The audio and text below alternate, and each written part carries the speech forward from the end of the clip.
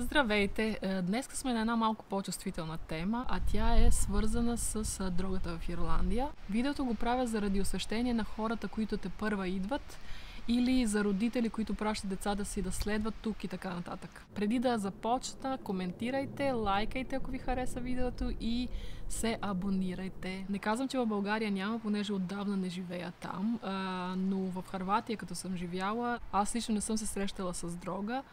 А, и също така а, никога никой не ми е предлагал. Като казвам дрога, включвам и а, тревата също. Защото тук тревата не я смятат за дрога. До такава степен е разпространена. Говоря само за Дъблин, естествено, защото аз живея в Дъблин, не знам за другите градове. Но по улицата а, много често ще ви замирише на трева и ще видите хора, които пушат абсолютно явно, въпреки че все още тук а, тревата не е легализирана, но фактически е като легализирана. Дословно всеки другия пуши и или продава. Значи, както казах, тревата е под път и на път. Тук, ако е някой с слаб характер, много лесно може да се подведе, защото ви я предлагат. Не само, че не трябва да я търсиш, ами на теб ти я предлагат. Лесно се намира да я купиш. Така че внимавайте с децата си, които ги пращате за следване. Освен това, тревата тук я пушат много хора на дневна база.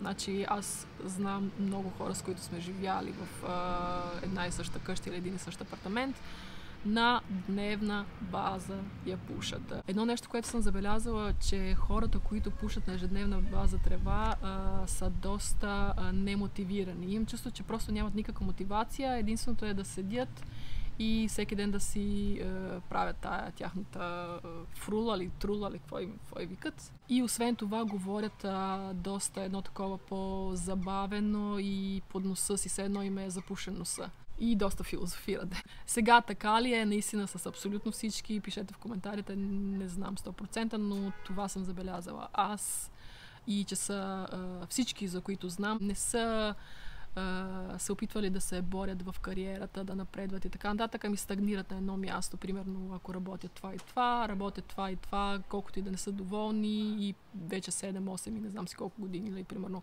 работят тази същата работа, дето още от самото начало се говори, че абсолютно не им пасва, не им харесва, не я обичат и така нататък.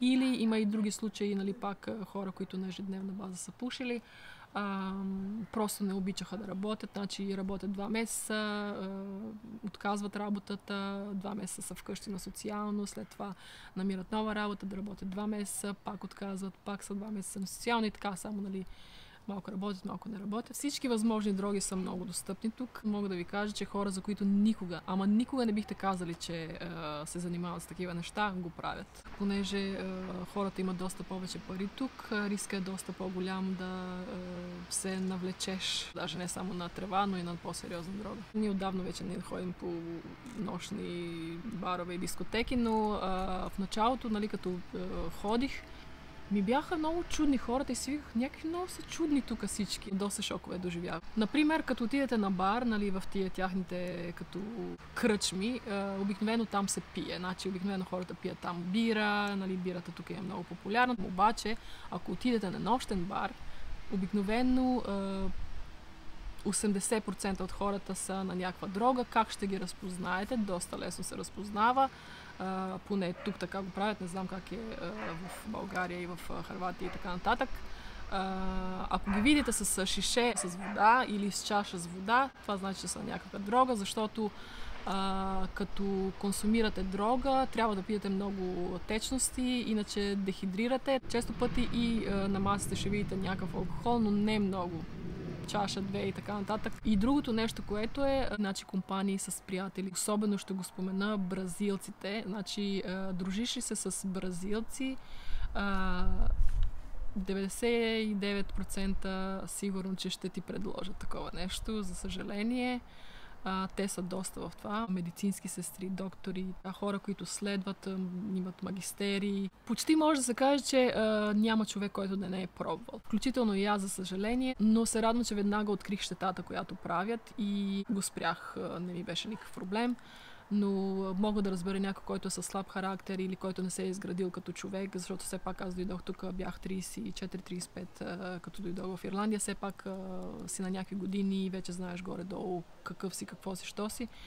Познаваш се, смисъл и по-лесно ти е да кажеш не на някои неща и така нататък, но ако примерно да си изграден човек, по-млад си, искаш да се докажеш на другите, искаш да се харесаш на компанията, с която си, и по-трудно ти да кажеш не и така леко по леко можеш да отидеш в доста крива посока, така че внимавайте, внимавайте, сериозно говоря.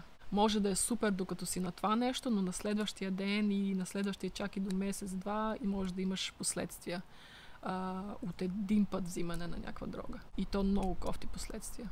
Следващото нещо е дрогата на работното място. Значи аз абсолютно а, не можах да повярвам, защото и в а, Харватия съм ходила на тимбилдинг, значи от а, компанията са се организирали тимбилдинг. много съм ходила в различни компании и никога, ама абсолютно няма шанс някой да е бил на дрога или да е предлагал дрога или нещо от сорта.